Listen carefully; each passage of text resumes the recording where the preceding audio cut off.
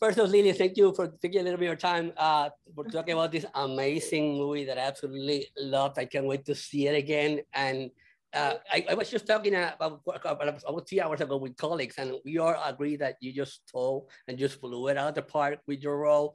Uh, that you own that role, you own that movie. This is your movie.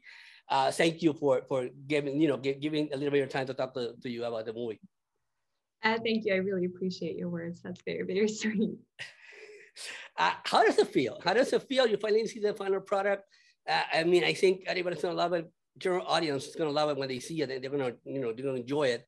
Uh, are you content with what you see? Are you content with your performance? Because again, my opinion is you blow it out of the park. I think you absolutely carried that film. Nothing against, you know, I love Frank. Frank is a good friend of mine, and Cameron and and and Malcolm has, you know, he has filmed in Puerto Rico a bunch of times. But how do you feel? How do you feel about about what you just, uh, you know, the, the, the performance?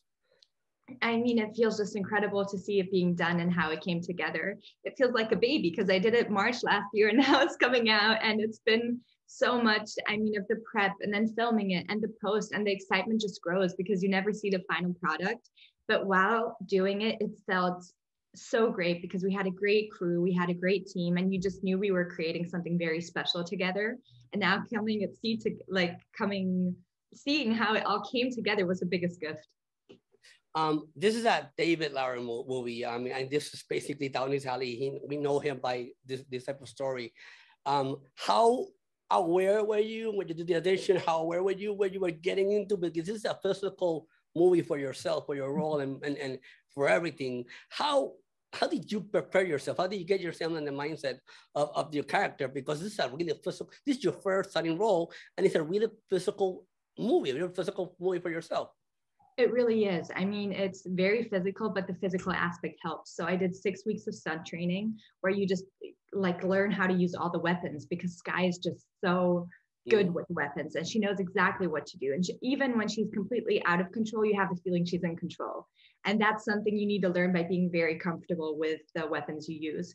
So that physical aspect really helped me to also emotionally prepare for Sky and um, i would just say that i also like i worked with psychologists trying to decipher what she had journaled a lot really tried to get into the psyche of sky to see what makes her the character she is and it was very interesting to just explore how someone can become the way she became um, I want to talk a little bit about talking working Cameron and, and Frank. Frank, I mean, we have we have talked a bunch of times during the interview, so we have become good internet friends. That's what I call it.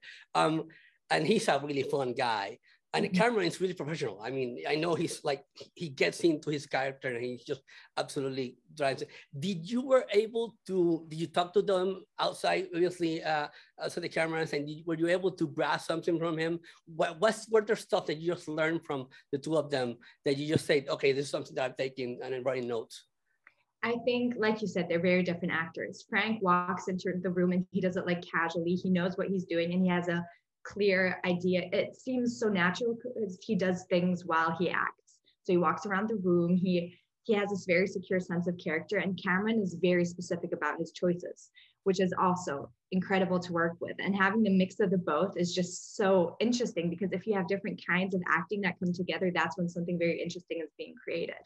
And just working with both of them offset and on set and getting to know them, just seeing that they're both incredible and very inspiring people. And John Malkovich also has a very different acting uh, style. And all of us coming together was this very creative, enriching uh, process, which was magical. I got two more questions before I let you go. I want to talk about, I, I got the opportunity to talk obviously to Luis already, the, the director. If, was there any, in any any moment of the film that you just felt uncomfortable, that you you you felt that you wanted to voice yourself, like, hey, maybe can we do this this way. I know I'm new here, but I don't. I just feel that we should do this this way. Was there any moment? It's so physical for you, and you're in the center stage of the whole film. Was mm-hmm. there any moment that you just felt that you need to speak out and you wanted to do something differently? So the thing I learned because I also did a lot of prep with Luis before we did a week of just rehearsals, and within a day or two, I noticed I could really trust him he was really he has someone who has your best intentions at heart and that's really rare and whatever he says he's very open to other ideas very open for feedback and there was this one scene where i revealed that i killed my uh, oh, I don't know if this is a spoiler. There's one scene where I reveal something. And he wanted me to do a very specific choice of never looking at Cameron, but always looking ahead and doing my own thing. And I told him, I was like, Luis, I don't know if this is going to work. I'm going to give you a take or two, and you can tell me, but I don't know if it's going to work.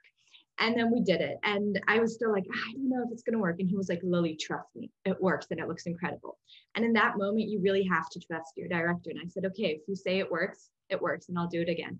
And um, I really had this relationship with him where we knew what was best for each other and we knew each other very well. So I completely let that go.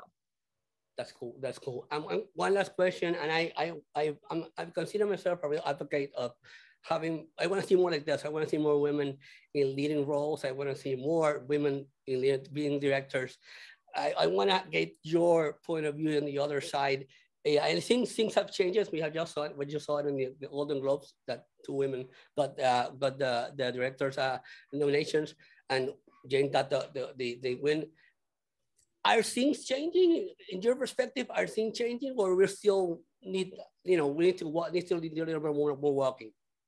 I think things are definitely changing. I think things have to change. I mean, it's been the same for too long. And I'm very happy that things are slowly changing. And this movie is an example of this. I mean, and this is why people should watch it. Sky is this very self driven person who at the end just breaks free from all the emotional abuse and all the people trying to control her. And she's really the person in the driver's seat who takes the action, who not only knows what she's doing, but lives with the consequences. And I mean, that is something big of female empowerment as well. Just knowing that if you act, you have to act with like the consequences that come, but also allowing her to be the driver of the situation. And I think that's one of the special parts of Shattered that it's not just a normal thriller, but it's a romance of female empowerment and also the thriller and the action, all driven by Sky. And that's projects like these that we need more of. Mm-hmm. Completely agree with you. Again, thank you for your time. I absolutely love love the movie. Thank Can't so wait much. people to see it. Can't wait to see it again. Can't wait to buy it, have it on DVD, put it on my collection. it's gonna be part of my collection. Don't worry. Don't, don't, even think about it. Again, you just stole it. You stole it. I mean, you, you put it in the part. Thank you. Thank you. Bye.